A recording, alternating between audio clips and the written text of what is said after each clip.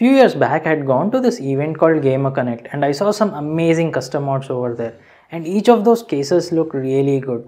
But there are people who keep asking me like custom mods, RGB, will it add any performance to computer? What I feel is that everything cannot be like performance oriented, right? Let's say someone buying RX 100 and modifying it is just for looks someone buying a vintage car and modifying it again it's just for looks similarly modding a case is for pure aesthetics but in some cases modding a case will also add some performance. The reason i'm saying this to you is because i'm planning to modify this case that i bought it from this brand called foxin. By the way this is not sponsored. I bought it online. Now, what do we get to see in the box is all atx compatible. They have included thumb screws. It's a cheap case. Uh, front USB and front audio. Now let's open this box and see this case in real.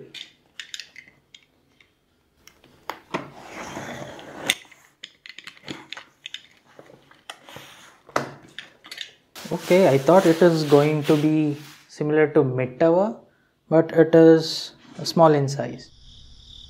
So the reason I bought this case is because it looks like a speaker or a subwoofer that I had seen on the internet right the front part. The image of this case on amazon looks little different.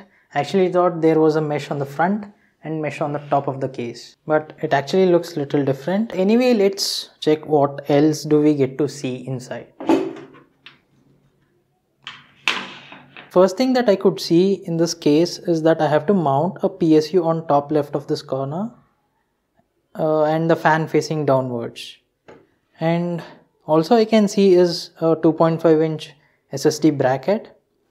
And uh, and also I can see a two hard drive mounting uh, space on the front of this case.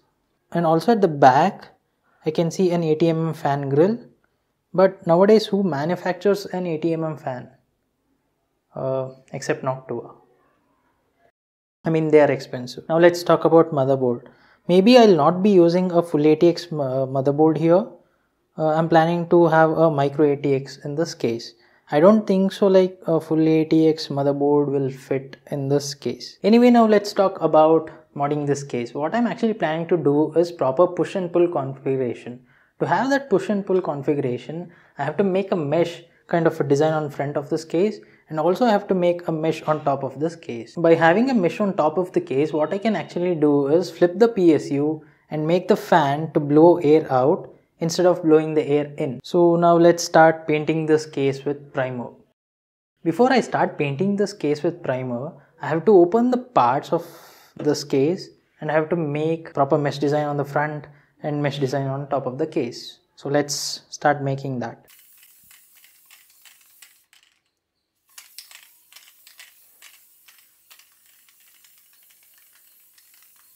So here's a quick update. I have done two coats of primer on the case. Before applying the second coat of primer, I have done proper sanding on the case.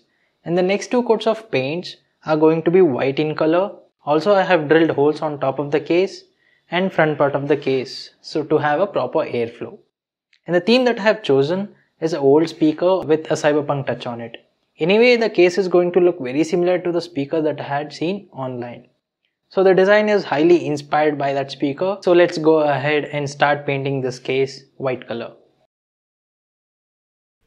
To give a color, I am using a matte white spray paint and in the third step I have applied 3 to 4 coats of white paint. And in the final step to give some design on the case, I have covered this case with masking tape and now I am spraying this case with grey color.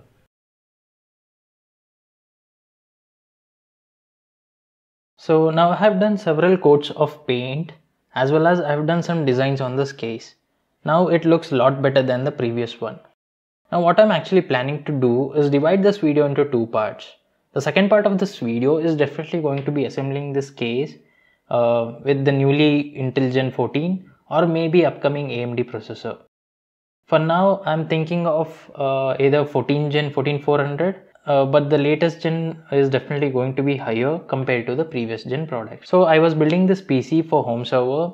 I wanted this computer to be cheaper, but we'll see if the latest gen is going to be in my budget or not. For now, I'll be testing this computer case with the airflow. I'll be using Ant Esports Superflow in this case and I have chosen a Deepcool 450 watt power supply for this build. There's like one more interesting case fan that I have chosen for this build for uh, from this brand called Alseye. I don't know how this fan is going to perform in terms of looks. It's perfect for my build and it is made of a good quality metal. It feels like they have used some high grade aluminum.